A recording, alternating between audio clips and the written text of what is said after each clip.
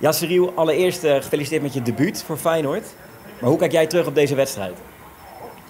Uh, ja, allereerst dan dankjewel. Um, ja, een heel moeilijke wedstrijd. Uh, hier, in, hier in Haifa. De temperatuur speelt zijn rol. Het was een, een, heel stevige ploeg, vond ik. sterk in de duels. Waren tactisch stonden ze ook goed. Dus ja, gewoon overal een heel moeilijke wedstrijd. Vond jij dat Feyenoord haar eigen spel kon spelen? Want het leek erop dat allebei de teams een beetje dezelfde speelstijl hanteerden. Um, eerste helft hadden we het daar moeilijker mee. Tweede helft lukte dat een stuk beter, denk ik. Uh, hielden we de bal langer in onze ploeg.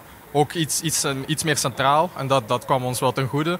En uh, ja, dan, krijg je, dan zie je dat je toch die kantjes krijgt. En dan is het, ja, je hebt eigenlijk net niet genoeg gecreëerd, denk ik, om, om echt aanspraak te maken op, op, op de overwinning. Maar uh, ja, dat zal voor in Rotterdam zijn dan.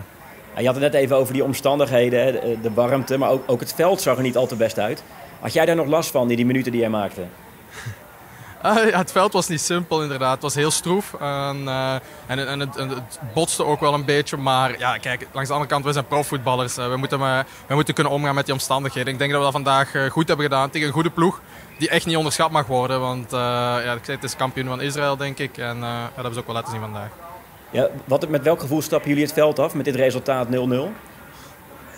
Ja, ik denk dat Guus het daarnet goed zei. Uh, ja, het, is, het, is, jammer dat we hier niet kunnen, kunnen winnen. Maar dan moeten we ook, uh, mogen zij ook niet winnen. En ik denk dat dat inderdaad wel een goede is. Dat, uh, dat we hier gewoon een goed punt halen op verplaatsing, Europees.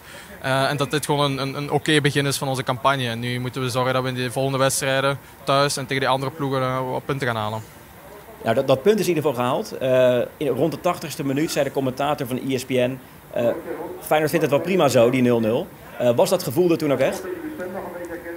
Oh, nee, ik had dat gevoel totaal niet. Nee, ik wilde heel graag nog, uh, nog scoren of, uh, of, of, de ploeg laten scoren. Maar het heeft er niet echt meer in gezeten. Dus ja, jammer genoeg. Ja, jij kwam er na 75 minuten in. Ehm, was dat van tevoren afgesproken of had, had ook te maken met het verloop van de wedstrijd? Oh, nee, nee, was, uh, was niet afgesproken of zo. Ik denk dat allez, de trainer maakt natuurlijk zijn keuzes daarin. Ik was klaar ervoor. ik voelde me goed. Ook afgelopen dagen op training had ik een heel goed gevoel. Dus ik was blij dat ik er eindelijk in kon. En, ja, ik heb mijn best gedaan. tot nog niet echt tot kans gekomen. Of tot ja, een kans waar ik had moeten scoren, maar dat komt sowieso nog wel. Met, met welk gevoel gaan jullie nu terug naar Nederland richting die beste tegen PSV? Um, ja, ik denk dat het goed is. Uh, zeker na de, de afgelopen twee wedstrijden voor Feyenoord die, die toch verloren gingen. Ik denk dat het goed is dat we hier gewoon echt een stabiele prestatie hebben neergezet. En uh, ja, dus ik denk dat we die, die stabiliteit moeten houden, verdedigend op middenveld. En dan moeten we aanvallend uh, ja, nog, iets, nog iets extra gaan doen om het verschil te maken daar. Maar daar heb ik ook vertrouwen in.